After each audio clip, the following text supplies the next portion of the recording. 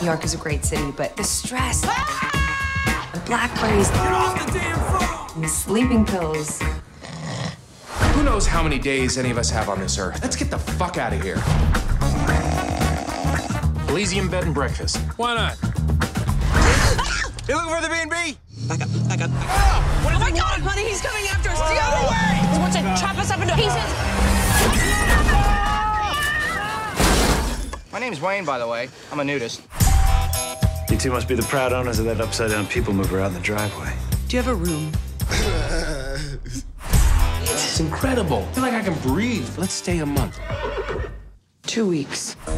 Let's get you guys into your first day at Elysium. Wrap your fingers around the base of it, work the shaft down at the tip, and then the hot white stuff just shoots out. What? Careful, it's gonna go all over your belly. What would you say a truth circle is? Um, It's probably just hard for you because you're so full of shit. Okay. You know what I do when I'm down? Yoga? I, I was gonna say orgasms. Giving them to myself, giving them to others. Me too. No, I don't think it's affecting me. More tripping, more balls off. You are fucking wasted. We should make love sometime. Anyway, think about being inside me. It's a good idea. Monogamy is sexual slavery. Like my erection selection? Yeah? What happened? You just missed it. It was so beautiful. Hey, George.